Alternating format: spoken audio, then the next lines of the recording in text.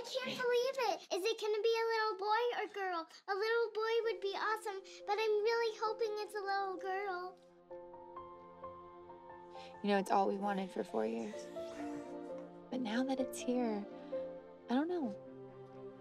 You're gonna be a great mom.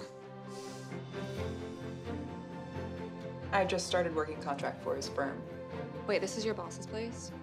Like we said, I manage the farm for mom for a few more seasons. I take my night classes, get my electronics degree.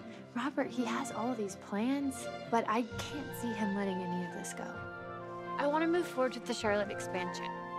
Within six months, it could be self-sustaining. It's now or never. Will it ever get easier? The farm.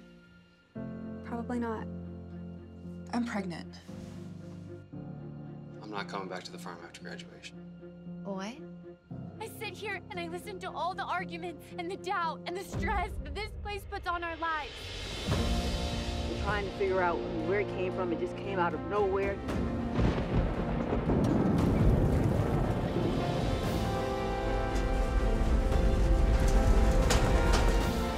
I don't belong here. I don't fit in. Baby, I don't please. need Yes, to be here. do. No, I don't. Take care of it. No more pain. Courage. Feel it deep down in your bones.